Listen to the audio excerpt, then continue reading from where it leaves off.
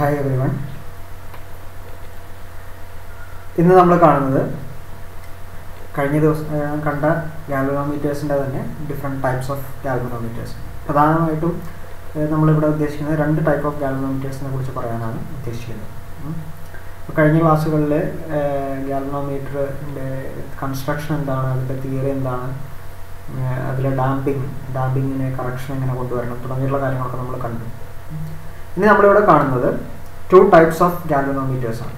പ്രധാനമായും രണ്ടായിട്ടാണ് നമ്മൾ ഗാൽവനോമീറ്ററിൽ major division വരുന്നത്. അതൊന്ന് ballistic galvanometer and other one is dead beat galvanometer ഇത് എന്ത് മെഷർ ചെയ്യുന്നു? അതിന്റെ ഓസിലേഷൻ എങ്ങനെയാണ് എന്നുള്ളതിനൊക്കെ ബേസ് ചെയ്തിട്ടാണ് നമ്മൾ പ്രധാനമായിട്ടും രണ്ട് ടൈപ്പായിട്ട് ഡിവൈഡ് ചെയ്തിട്ടുള്ളത് അപ്പോൾ നമ്മൾ ഗാൽവനോമീറ്ററിനെ പ്രധാനമായിട്ടും രണ്ടായിട്ടാണ് ക്ലാസിഫൈ ചെയ്യുന്നത്. ഒന്ന് ballistic galvanometer രണ്ടാമത്തേതാണ് dead beat galvanometer ballistic galvanometer തന്നെ പറയുന്ന മറ്റൊരു പേരാണ് മിറർ ഗാൽവനോമീറ്റർ മിറർ ഗാൽവനോമീറ്റർ എന്നുള്ള പേരിൽ അറിയപ്പെടുന്നത് ബാലിസ്റ്റിക് ഗാൽവനോമീറ്റർ തന്നെയാണ്.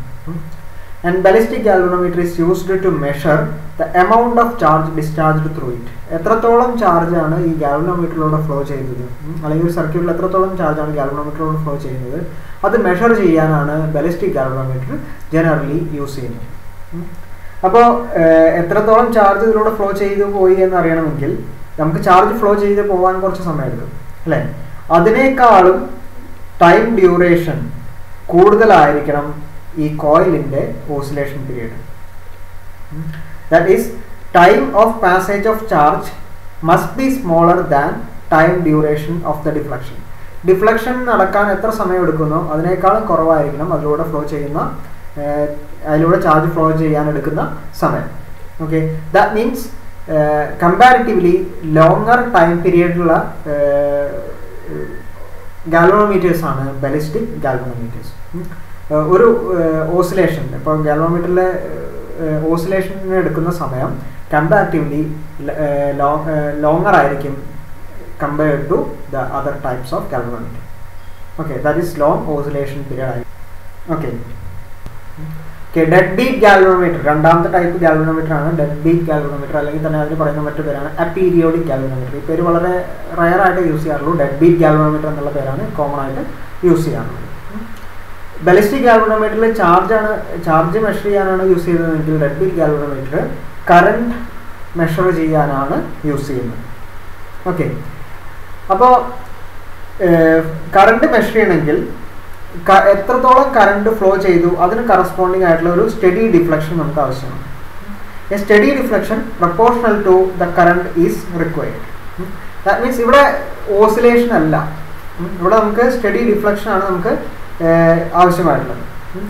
അപ്പോൾ ദ സ്പോട്ട് ഓഫ് ലൈറ്റ് നമ്മളിപ്പോൾ ഗാൽവോമീറ്ററിലെ ഉള്ളിലൊരു മിറർ ഉണ്ടെന്ന് പറഞ്ഞാൽ ആ മിററിൽ നിന്ന് റിഫ്ലക്ട് ചെയ്യുന്ന ലൈറ്റിന്റെ ഓസിലേഷനാണ് നമ്മൾ മെഷർ ചെയ്യുക. അപ്പോൾ ഇവിടെ ഈ കറണ്ടാണ് മെഷർ ചെയ്യുന്നതെങ്കിൽ സ്പോട്ട് ഓഫ് ലൈറ്റ് ഓസിലേറ്റ് ചെയ്യാൻ പാടില്ല. Should not oscillate spot of light should not oscillate ഇവിടെ എന്താ സംഭവിക്കുന്നത് വെച്ച് കഴിഞ്ഞാൽ ഈ സ്റ്റഡി ഡിഫ്ലക്ഷനാണ് നമുക്ക് കിട്ടേണ്ടത്. സ്റ്റഡി ഡിഫ്ലക്ഷൻ ആണ് കിട്ടേണ്ടത് എന്നുള്ളത് കൊണ്ട് തന്നെ ഈ ഡിഫ്ലക്ഷൻ കോൺസ്റ്റന്റ് ആയിട്ടൊരു പോയിന്റിൽ വന്ന് സ്റ്റോപ്പ് ചെയ്യണം അല്ലേ?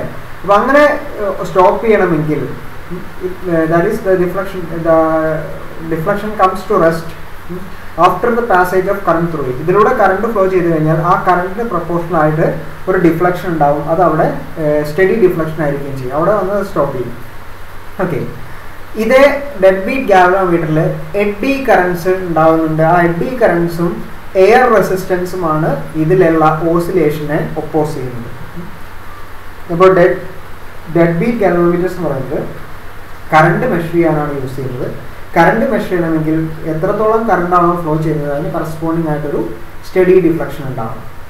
That means the spot of light must comes to rest after the passage of current through it അതിലൂടെ കറണ്ട് ഫ്ലോ ചെയ്താൽ അതിന് കറസ്പോണ്ടിങ് ആയിട്ട് ഒരു സ്റ്റഡി ഡിഫ്ലക്ഷൻ ആ സ്പോട്ട് ഓഫ് ലൈറ്റ് ഒരു പോയിന്റ് വന്ന് റെസ്റ്റിലെത്തണം സോ ഈ റെസ്റ്റിലെത്തണമെങ്കിൽ അവിടെ ഇത് എന്ത് ചെയ്യണം? ഓസിലേഷൻസ് പാടില്ല ഓസിലേഷൻസിനെ ഒപ്പോസ് ചെയ്യണം.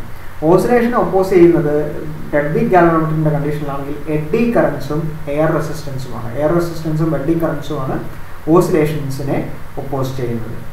ബലിസ്റ്റിക് ഗാൽവനോമീറ്റർ നമ്മൾ ചാർജ് ചാർജ് മെഷർ ചെയ്യാനാണ് മിറർ ഗാൽവനോമീറ്റർ എന്ന് പറയുന്നു. അവിടെ ഓസിലേഷൻസ് ഉണ്ട്. പക്ഷേ പീരിയഡ് ഓഫ് ഓസിലേഷൻ എന്ന് പറയുന്നത് കമ്പാരിറ്റീവ്ലി ലാർജർ ആയിരിക്കും. Compared to the time required for the flow of charge through that galvanometer. Okay. So these are the two types of ballistic and galvan uh, deadbeat galvanometers.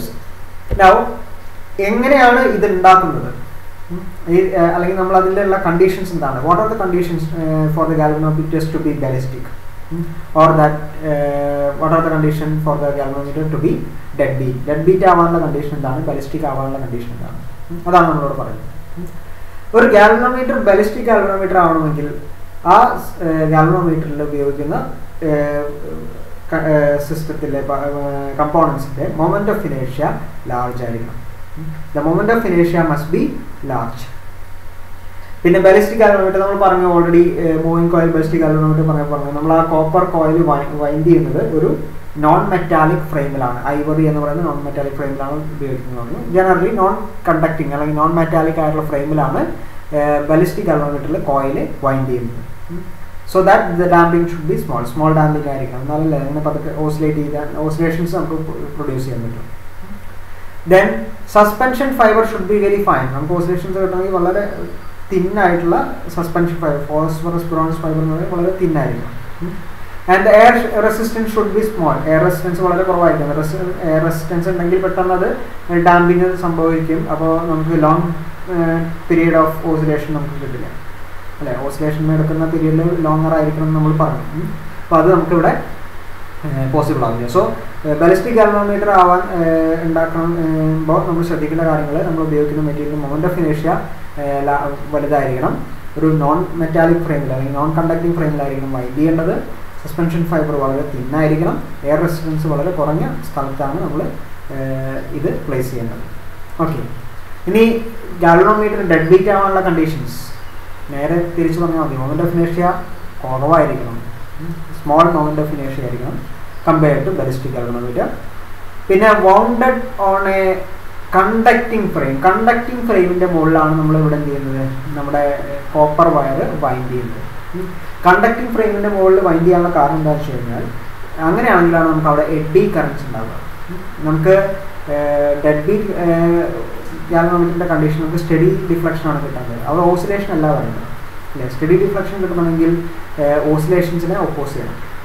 Damping സംഭവിക്കുന്നത് so eddy currents produce ചെയ്യണം eddy currents നമ്മുടെ ഓസിലേഷൻസിന് oppose ചെയ്യുന്ന ആളാണ്. അപ്പോൾ AD currents produce ചെയ്യാൻ നമ്മൾ ഉപയോഗിക്കുന്നത് ഈ കോയിൽ ഒരു മെറ്റാലിക് ഫ്രെയിമിലാണ് അല്ലെങ്കിൽ കണ്ടക്ടിങ് ഫ്രെയിമിലാണ് വൈൻഡ് ചെയ്യുന്നത്.